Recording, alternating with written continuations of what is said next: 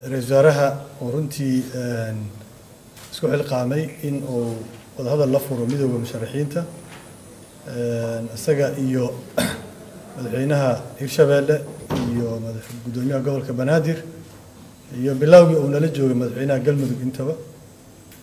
Runtii shirkii ambaqaadka shirkii shan iyo labaatankii bishan february maanta wejigiisii labaad uu maanta yahay wejigiisii labaad wejigii saddexaadna aan u ballanay hadduu ilaa yidhaha maalinta khamiista inaan inta dhimanna aan dhammaystirno. Dabcan wadahadal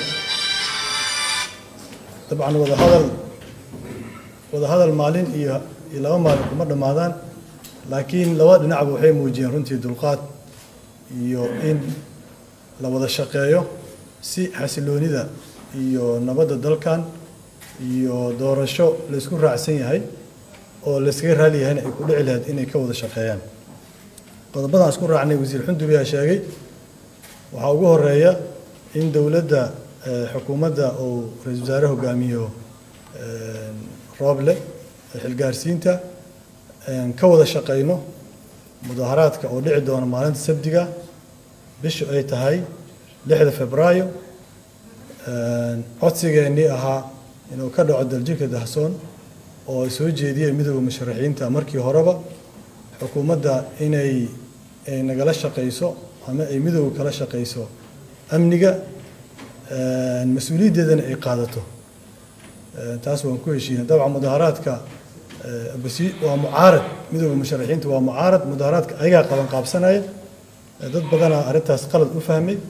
Xukuumadda mas'uuliyaddeeda unbay qaadanaysaa oo dhinaca amniga ah talabaad waxaa la magacaabay guddigii baaritaanka dhacdadii sagaal iyo tobankii oo laba dhinac oo saddex dhinaca golaha midooda musharaxiinta iyo saddex dhinaca xukuumadda ka socda oo dad runtii aan isleenahay kulligoodba dad khibrad u leh arrimaha amniga waaye oo saraakiil sarsare oo ciidanka xoogga dalka qaybihiisa kala duwan ka tirsan iyo rag khubaro amni ah oo isku jiro inay keenaan natiijadii wixii dhacay sagaal iyo tobankii febraayo iyadana waa waa lagu heshiiyey.